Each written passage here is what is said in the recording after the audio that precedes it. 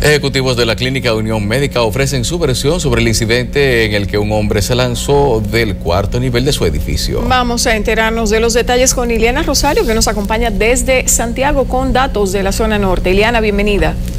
Gracias, Patricia. Saludos, Carlos. A través de un comunicado de prensa, ejecutivos de la Clínica Unión Médica dieron a conocer su parecer con respecto al incidente que precisamente dio al traste con eh, que este hombre se lanzara de un cuarto nivel. Explicaron que este hombre presentó un estado de violencia arrancándose el suero intravenoso y la sonda vesicular. Esto como parte del comunicado que emitieran a los miembros de la prensa. Indicaron que en momentos en que el personal de enfermería intentó detenerlo, el paciente se encerró en el baño y rompió una de las ventanas que comunica con el exterior y con la ayuda de una sábana llegó al segundo piso del techo de la cafetería de la clínica y desde allí es cuando termina de deslizarse por una palmera. Ellos no confirman que realmente se lanzara del cuarto piso como se dijera por parte de los familiares. Sin embargo, hasta el momento, de acuerdo con las informaciones que hemos tenido por parte de ellos, él presenta pues una especie de eh, rotura en la pierna y algunas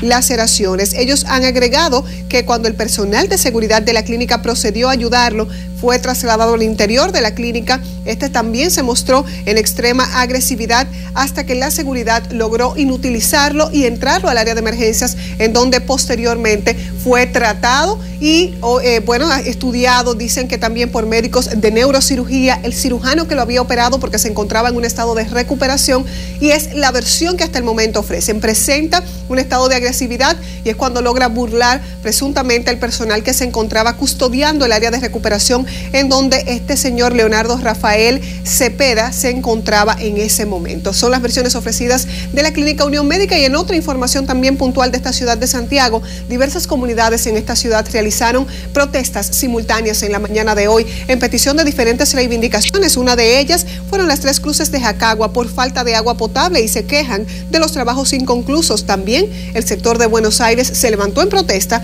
ante el, el estado de una cañada de contaminación. Corazán vino a cambiar una tubería, supuestamente mandando agua, y cambiaron la tubería y han dejado un desastre, dañaron la calle y no hay agua. Estamos que no pueden pasar ni los carros cuando llueve porque hicieron un toyo demasiado grande. Hay, muchos moquitos en la casa, no aguantamos los moquitos de, tanto, de tanta agua que nos dejaron acumulada. Mira, es pura porquería que sale por ahí. Entonces ahorita viene un brote de dengue, de, cólera, y es por eso. Ahorita este niño, el Caribe le tomó una foto a un niño pasando por ahí con los pies descalzos. Ya el saneamiento de cañada supuestamente está aprobada. Queremos que ya se, se solucione el problema y se empiece a trabajar con eso. Si hoy no viene a resolver el problema, nosotros mañana vamos para la avenida y vamos a tapar la avenida y todo para que no hagan caso. Los barrios están sumamente preocupados ante esta situación de contaminación y piden la intervención urgente de las autoridades. Con esta información retorno con ustedes Carlos y Patricia a los estudios. Buen provecho cuando les toque.